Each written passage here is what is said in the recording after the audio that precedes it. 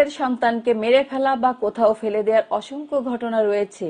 তবে অন্যের সন্তানকে নিজের সন্তানের সমতুল্য স্নেহ, মমতা দিয়ে লালন পালন করার ঘটনা খুব একটা ঘটে না। মানুষের মাঝে মমতার এ দৃষ্টান্ত না থাকলেও পশুর মাঝে তা দেখা গেছে। হ্যাঁ আমরা একটি বিড়ালের এমন মমতা বোধ নিয়ে আয়োজন করেছি আজকের ভিডিও। বিস্তারিত দেখার আগে আমাদের চ্যানেলটি সাবস্ক্রাইব করুন সেই সাথে এর সম্প্রচার বাড়াতে লাইক ও কমেন্টস করে আমাদের সাথে থাকুন। ভিডিওতে থাকা বড় বিড়ালটি জন্ম দেয় একটি বাচ্চা।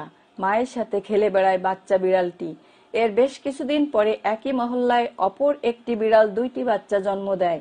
বাচ্চা দুইটি জন্মের কিছুদিন পর মা বিড়ালটি বাচ্চা দুটির মায়া ত্যাগ করে অন্যত্র চলে যায়।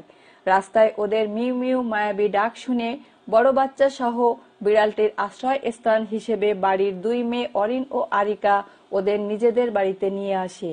প্রথম দুই দিন একটি বাচ্চাওয়ালা মা বিড়ালটির সাথে অনেকটা আড়ি আড়ি ভাব থাকলেও ওর নাদুস নুদুস বাচ্চাটির সাথে বেশ ভাব জন্মে।